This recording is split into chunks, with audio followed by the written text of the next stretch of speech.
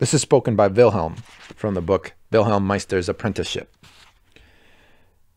It's never too early to realize that no one is indispensable in this world. How important we think we are.